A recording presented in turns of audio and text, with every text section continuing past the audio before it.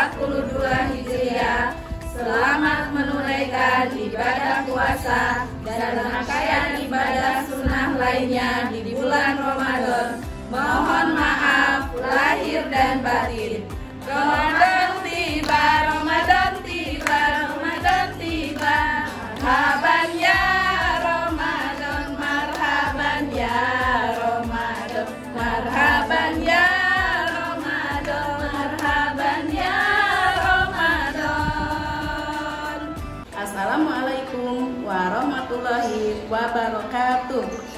Apa kabar teman-teman semua? Ayah bunda di rumah. Mudah-mudahan selalu sehat walafiat Serta dalam lindungan Allah subhanahu wa ta'ala.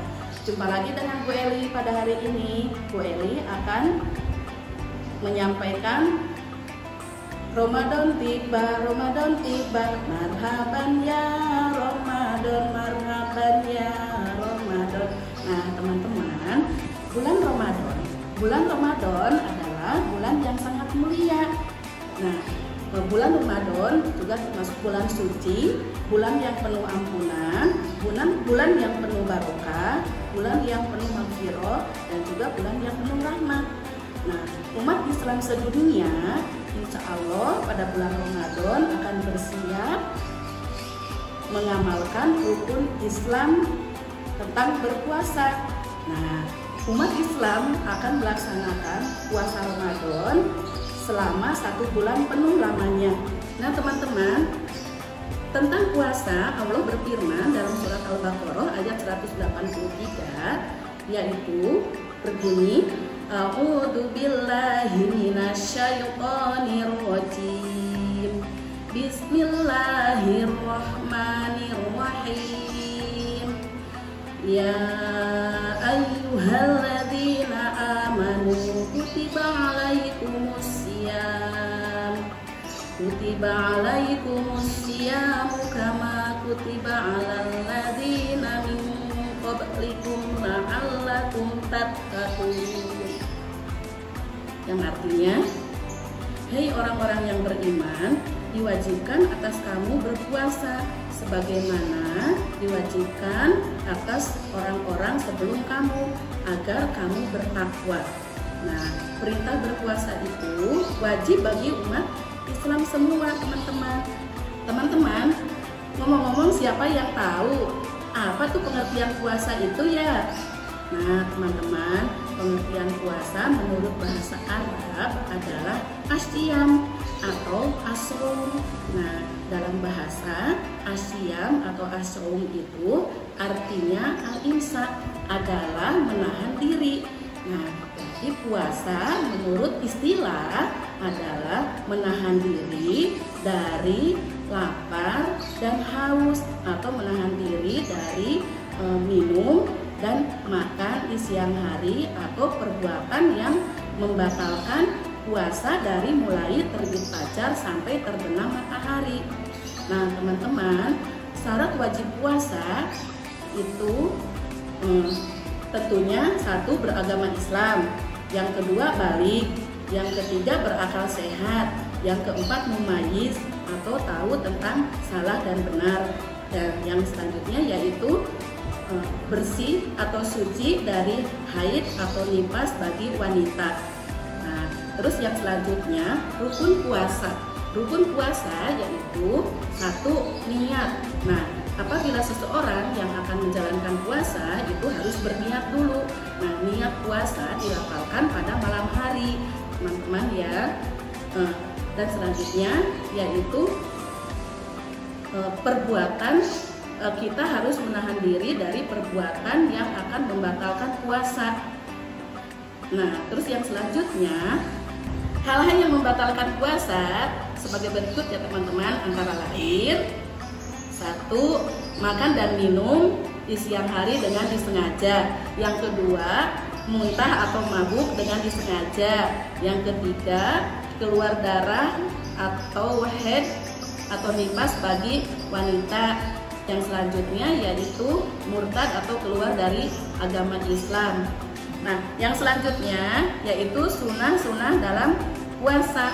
sunnah dalam puasa itu uh, yaitu amalan yang dianjurkan oleh Rasulullah.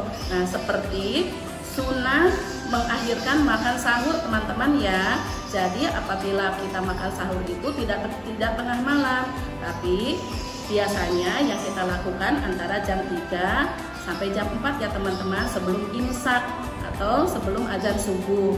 Nah, terus yang kedua menyegerakan berbuka sebelum sholat maghrib.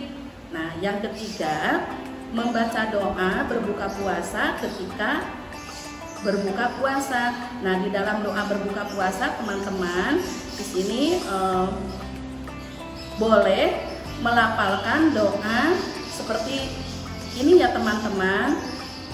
Dahabat doma'u wabtalatil uruku wasa batal ajru nah boleh yang itu atau boleh teman-teman melafalkan seperti yang ini Allahumma lakasumtu wa bika amantu wa ala rizkika aftartu birohmatika ya arhamar rahimin Nah, itu lafaz untuk berbuka puasa. Silakan teman-teman mau memakai lafaz yang mana boleh ya teman-teman.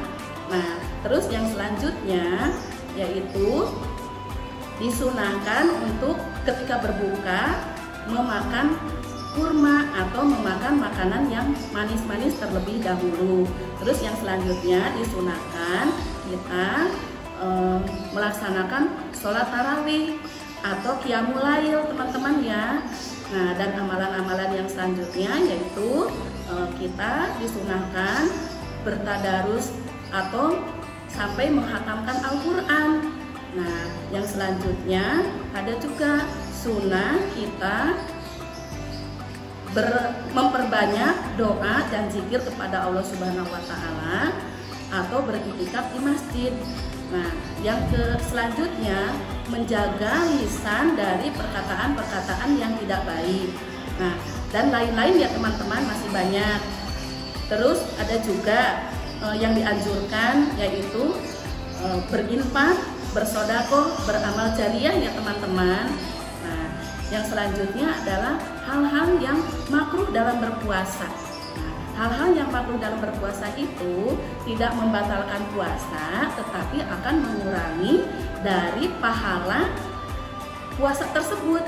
Nah, apa saja ya teman-teman? Nah, misalnya menggosok gigi atau berkumur-kumur pada siang hari. Nah, terus kita misalkan mandi atau keramas pada siang hari. Nah, ada juga kita tidak boleh berkata tidak sopan atau tidak baik kepada teman-teman, apalagi menjahili teman-teman sampai teman-teman bisa tidak nyaman oleh perbuatan kita. Nah, itu tidak boleh teman-teman itu termasuknya makruh akan mengurangi pahala yang kita dapat pada puasa kita. Nah, dan yang selanjutnya yaitu hikmah puasa. Nah, hikmah puasa di antaranya akan melatih diri kita untuk menjadi pribadi yang lebih tabah dan lebih sabar. Nah, yang kedua, akan melatih diri kita agar lebih menghargai waktu atau disiplin. Nah, yang selanjutnya, yang ketiga yaitu akan melatih diri kita agar lebih banyak bersyukur kepada Allah Subhanahu wa taala dan juga akan melatih diri kita akan menghargai kepada sesama. Nah, itu saja mungkin e, dari Bu Eli tentang penjelasan puasa Ramadan, teman-teman. Nah, akhirnya Bu Eli mengucapkan selamat menjalankan ibadah puasa. Mudah-mudahan Allah Subhanahu wa taala selalu memberi kekuatan, kesabaran, menjaga kesehatan kita dan melindunginya dan juga kita diridhoinya. Nah, Demikian teman-teman. Ilahi taufiq wal hidayah. Wassalamualaikum warahmatullahi wabarakatuh.